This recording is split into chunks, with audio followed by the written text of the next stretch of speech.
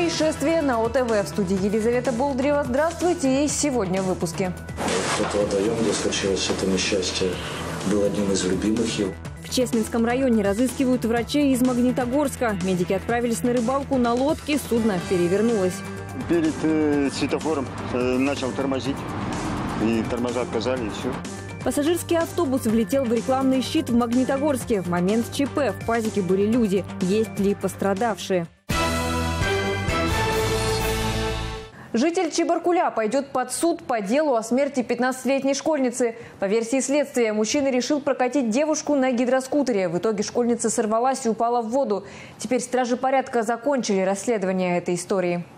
Расследованием было установлено, что э, местный житель города Чебаркуль 31 июля 2018 года, находясь на водной глади озера Чебаркуль, вот, управляя гидроциклом, маломерным судном, допустил опрокидывание данного маломерного судна. Э, во время катания с ним находилась несовершеннолетняя, которая в результате опрокидывания также оказалась в воде, вот, в результате чего она, не, имея плавать, не умея плавать и не имея спасательного жилета, утонула. Вот, действия мужчины квалифицированы по части 1 статьи 109, это причинение смерти по неосторожности. Э, данное уголовное дело на данный момент направлено э, Чебаркульскому городскому прокурору для утверждения обвинительного заключения и последующего направления уголовного дела в суд. Напомню, в момент ЧП обвиняемый был пьян. Последние минуты жизни школьницы попали на видео. Эти кадры засняла подруга погибшей. Теперь за смерть девушки мужчине грозит до двух лет лишения свободы. Двое врачей из Магнитогорска пропали на озере Успенское в Чесменском районе. Это в 180 километрах от города Металлургов. Известно, что туда медики отправились на рыбалку, но лодка перевернулась. На связь врачи перестали выходить в воскресенье. Поехали на рыбалку. На озере начался шторм и лодку перевернуло. Оба рыбака оказались в воде. Тело одного из них волной прибило к берегу. Известно, что мужчину уже похоронили. А вот второй доктор до сих пор не найден. Это Андрей Городничев, врач-физиатр, заведующий отделением областной туберкулезной больницы номер 3 в Магнитогорске. По словам коллег, на рыбалку он часто брал с собой 11-летнего сына, но в этот раз мальчик остался дома. Сынишка у него, отец приучал его мужской жизни. А тот водоем, где случилось это несчастье, был одним из любимых его. Он очень любил карасей из того озера, угощал коллег этой рыбой. Но вот эти караси его изгубили. Поиски на озере Успенское в Чесменском районе ведут спасатели. Напомню, год назад, также осенью на Аргазинском водохранилище был похожий случай. Пятеро на одной лодке поплыли на остров, но судно перевернулось. На помощь бросились двое полицейских, которые рыбачили на водоеме. Всю компанию взяли к себе на борт, но эта лодка также опрокинулась. Спаслось только двое, оба полицейских и еще три человека погибли. Наркопритон закрыли в Челябинске. Располагался он на улице Каслинская, почти в центре города. А потом туда нагрянули полицейские. Выяснилось, что для употребления наркотиков свою квартиру регулярно сдавал 44-летний южный уралец. И теперь ему грозит наказание. Полицейскими по данному адресу неоднократно задерживались посетители, медицинское свидетельство которых подтверждало наличие наркотических средств в организме.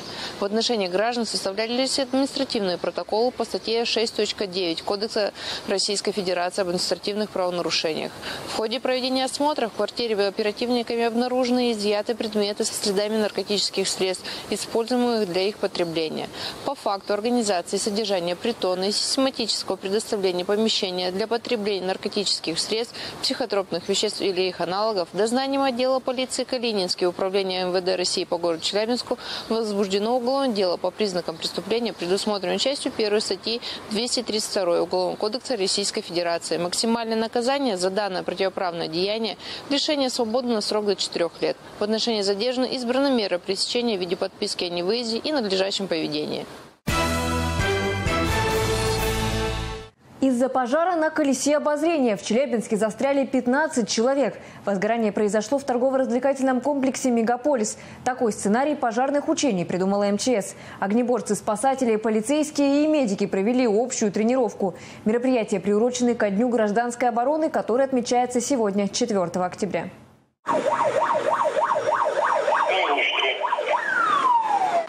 ТК съезжаются скорые, полицейские и пожарные расчеты. По легенде, в здании произошло возгорание. Из-за этого отключилось электричество. Остановилось колесо обозрения. На высоте 70 метров заблокировано 15 человек. Людей спускают на землю с помощью выдвижной пожарной лестницы. В это же время спасатели эвакуируют людей из здания. Внутри 500 человек. Выводить людей из здания помогают сотрудники комплекса. Пострадавшим оказывают первую помощь. Тактико-спасательные учения проходят по всей области и стране. В Магнитогорске выбрали другой сценарий катастрофы.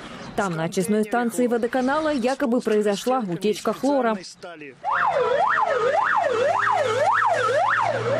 На место прибывают пожарные и спасатели, надевают специальные защитные костюмы. В них можно находиться на зараженной территории и даже в зоне радиации.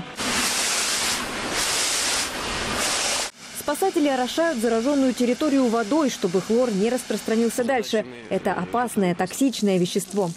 Если попадет жидкий хлор на руку, то ввиду того, что это очень активное вещество, будет маленькая дырочка. То есть будет сильнейший ожог, вплоть до прожигания до кости.